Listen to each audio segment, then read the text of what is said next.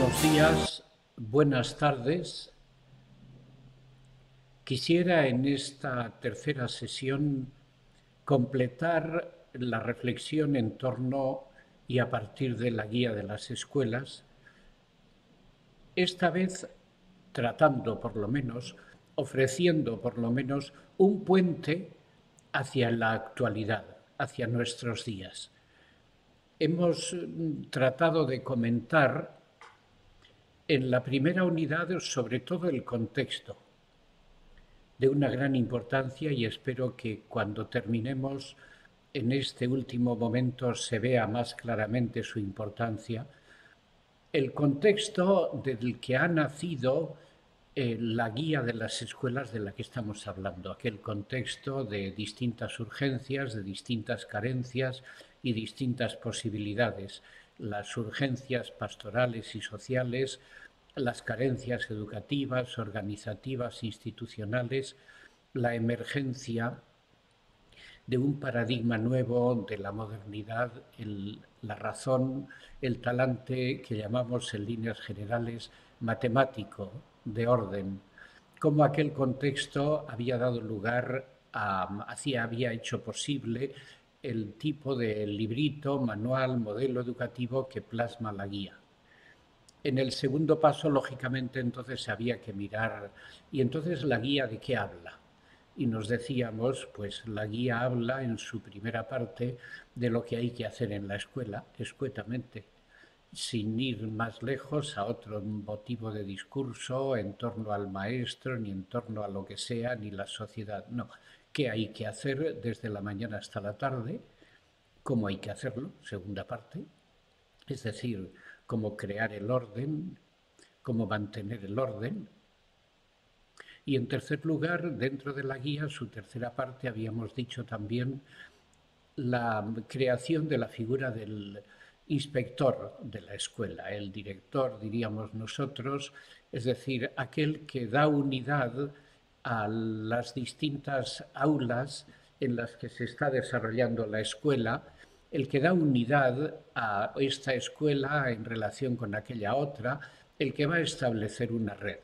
Era el criterio último en el que nos fijábamos para caer en la cuenta de que mm, en respuesta a una coyuntura,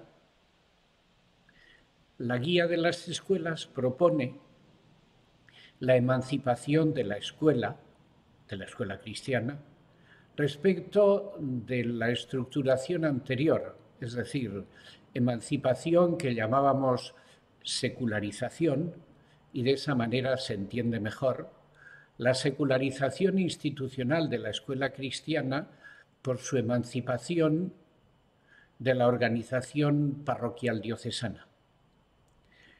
Por primera vez, la guía de las escuelas va a posibilitar la creación de, de una red, de una institución autónoma que será el anticipo clarísimo de lo que 100 años después se llamarían ya con distintas denominaciones locales, los ministerios de educación que las administraciones sociales iban a poner en pie a lo largo de todo el siglo XVIII y XIX.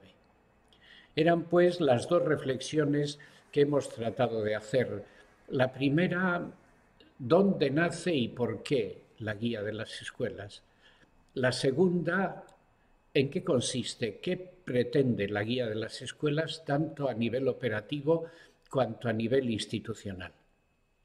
Nos toca dar un paso más, porque em, tal vez con esta reflexión, el paso de eh, un modelo de escuela tutelado por un organismo de una institución premoderna a una institución autónoma secularizada moderna, tal vez con eso mm, podamos eh, estarnos saltando un punto fundamental. Fíjense ustedes, y con esto ya entramos en la primera de las dos mitades de la reflexión de esta última jornada. Fíjense ustedes bien, una escuela se puede sostener cuando tiene recursos materiales. Es cierto. Si alguien paga, si alguien, si alguien construye un edificio, la escuela se mantiene. Una escuela se mantiene así, pero una red de escuelas no. Una red de escuelas necesita un motivo adicional respecto del puro sostenimiento económico o material. Y si esa red, como es el caso de la guía de las escuelas, si esa red pretende emanciparse de, un, de la tutela de un sistema establecido hasta ese momento, necesita, además del mantenimiento económico material, necesita el mantenimiento doctrinal identitario. La conduit debe ofrecer a esta institución que se está emancipando con ella, debe ofrecerle la ocasión de constituir su identidad, su identidad interior, podríamos decir, no tanto su identidad operativa, exterior, visible, aparente, su identidad interior. ¿Cómo hace? ¿Cómo hizo? ¿Cómo hizo? Porque esto no son quimeras. ¿Cómo hizo la conduit posible el arranque de una identidad institucional que le diera fuerza a esa nueva sociedad de las escuelas cristianas para atravesar un periodo de tres siglos? ¿Qué hay en la conduit que posibilite, que por lo menos eche las bases de algo que en la conduit misma no se habla. Bueno, en la conduit, al acabar, recogen una línea que había quedado escrita en un librito de, bueno, la colección de pequeños tratados espirituales, la colección de trataditos espirituales que habían utilizado en los días del Señor de la Salle. ¿Saben ustedes qué línea? Una línea titulada Las doce virtudes del buen maestro. Las doce virtudes del buen maestro. Las, las recoge en una línea, no la comenta. Cien años después, cien años después, el hermano Agatón, superior general, allá por 1780-1790, escribió un librito magnífico, está por ahí en castellano y tampoco debería faltar, en nuestras comunidades educativas, en nuestras comunidades de hermanos, de asociados. El comentario Las doce virtudes del buen maestro están aquí, en la última página, delante del índice, ven ustedes índice, bueno, pues aquí las doce virtudes de un buen maestro. ¿De dónde salen? ¿Qué quieren decir? Las doce virtudes, eh, tal como las enumera el señor de la Salle, mm, tengo que decirlas muy despacio, pero no las puedo comentar, claro. La gravedad, el silencio, traten ustedes de ir buscándole algún pequeño común denominador. Gravedad, silencio, humildad, prudencia, celo, vigilancia, piedad, generosidad, sabiduría, paciencia, mansedumbre, mesura.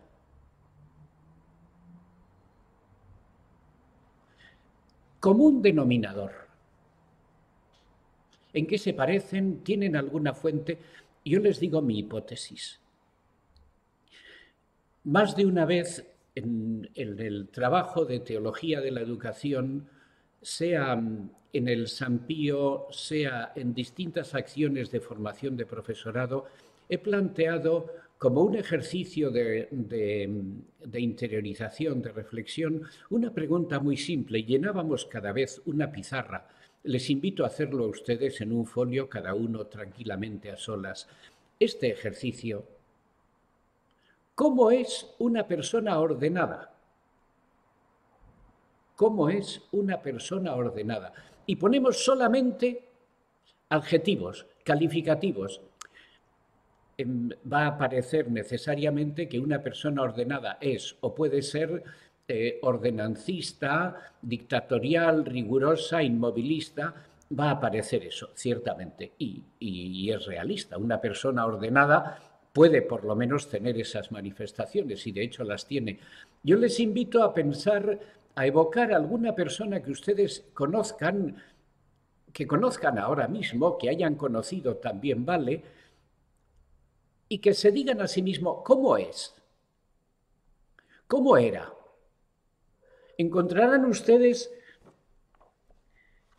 una persona previsora, organizada, constante, eficaz, reconocida, adaptable, serena, sencilla, pobre. Encontrarán muchas más me había tomado el cuidado de apuntar esas en el guion para que no se me traspapelaran, pero les invito a hacer el ejercicio que es lo que importa. Una persona ordenada, ¿cómo es? Preguntarán ustedes, ¿y qué tiene que ver esto con la conduit? Confío que en cuanto hayan, se hayan hecho esa pregunta, inmediatamente se la hayan respondido. Me adelanto de todas maneras, por si acaso. El alma de la conduit es un maestro ordenado.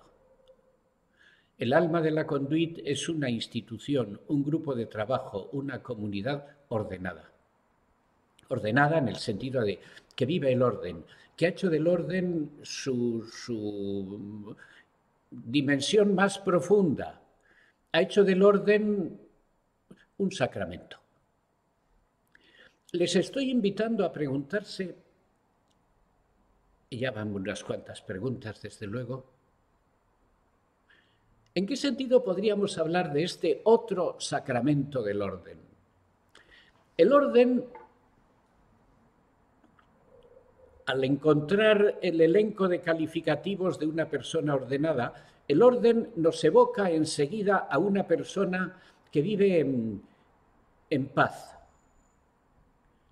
profundamente centrada en la esencia sencilla de las cosas una persona lo encontrarán enseguida con vida interior. Con vida interior, sí. Imaginen un hermano que estaba viviendo en 1720 la guía de las escuelas, tal como la hemos evocado, y que la va viviendo durante 20 años. Tiene 20 años al empezar a dar escuela. Ahora tiene 40 años. Esta persona evidentemente no es la misma a los 40 que a los 20 años. A los 40 ya está en las puertas de la ancianidad, es una persona que ha hecho ya un gran recorrido en la vida. ¿Cómo es? ¿Qué pozo le ha dejado el orden en su vida? El orden hecho escuela, el orden hecho organización de la comunidad, el orden hecho mm, vida de relación en la comunidad, en la escuela, fuera de la escuela, ¿Qué le ha ido dejando? Encontrarán ustedes, sin ningún tipo de exageración, que el orden ha hecho de esta persona alguien con vida interior. También ha podido hacer de esta persona un perfecto desgraciado, un inútil, un repetidor y un memorión, un frustrado, un vacío y una persona nada. El orden se le ha corrompido. Pero cuando el orden le ha podido acompañar hasta las fuentes de la realidad y de la vida, que le puede haber acompañado y que de hecho le ha acompañado, entonces encontramos la realidad de aquellas doce virtudes que habían dicho en los días del Señor de la Salle y que el hermano Agatón iba a comentar a final de aquel siglo, aquello de la gravedad y el silencio y la mesura y la piedad y la sabiduría y la vigilancia y el celo y la prudencia, que es exactamente lo que nos ha salido a nosotros en la pizarra.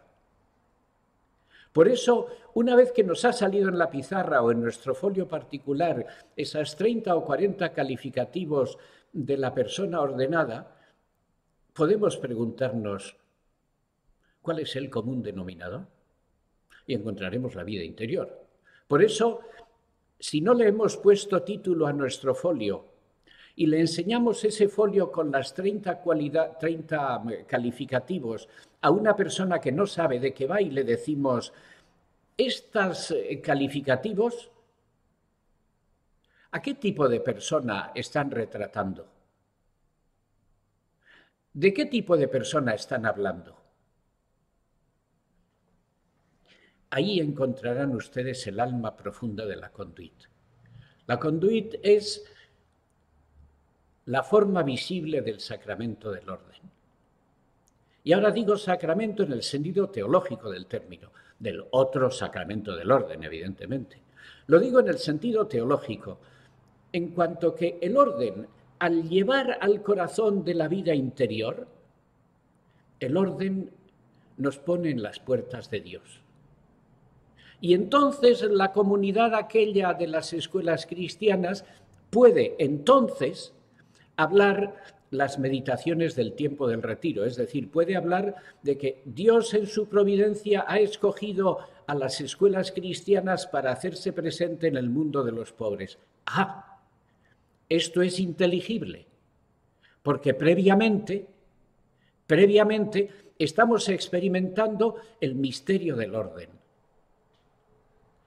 Ahora, en aquella comunidad pueden hacer el discurso de las relaciones comunitarias, que por ejemplo en la actual regla de los hermanos se traducirá con esa expresión de la comunidad es el hogar de los hermanos. Claro, bueno, ojalá lo sea, pero en principio la comunidad es el hogar de los hermanos. Y esto no lo contradice nadie. Para que esto sea el hogar de gentes que han sido, se creen, llamadas por Dios a vivir juntos este ministerio, hace falta que este ministerio se lo haga posible. Repito, para que ese grupo de personas asuma el hecho de que ha sido llamado por Dios a ser Jesús para sus alumnos y a vivirlo junto con otras personas en una comunidad que ya es más que un grupo de trabajo, para que alguien asuma todo esto, hace falta que la escuela se lo haga posible. Todo esto es como una especie de siembra algo que se planta en una huerta que necesita estar preparada, que necesita estar dispuesta a recibir esa otra mitad o esa otra, ese otro polo de la dialéctica de la vida. A esto le llamo el sacramento del orden y confío en que, aun con todos estos circunloquios, em, se pueda entender con cierta claridad. lo resumo como una, una, apreciación, eh, se habrán dado ustedes cuenta, es absolutamente personal mía. Ustedes pueden discutirla. Yo les digo algo en lo que yo creo. Pero no les digo algo que ustedes forzosamente tienen que creer. Ustedes tienen que creer lo que ustedes crean que tienen que creer. Lo que yo creo es que la herencia lasaliana se, se asienta en un modo de vivir la escuela construido sobre el orden que se convierte en puerta de la vida interior, que se convierte en sacramento de Dios. Esto, como ustedes perciben, plantea una pregunta terrible, y es, si decimos que la escuela cuyo emblema es la guía de las escuelas, ha terminado en la historia? ¿Cuál es el paradigma que hará hoy posible la construcción de una comunidad de las escuelas cristianas?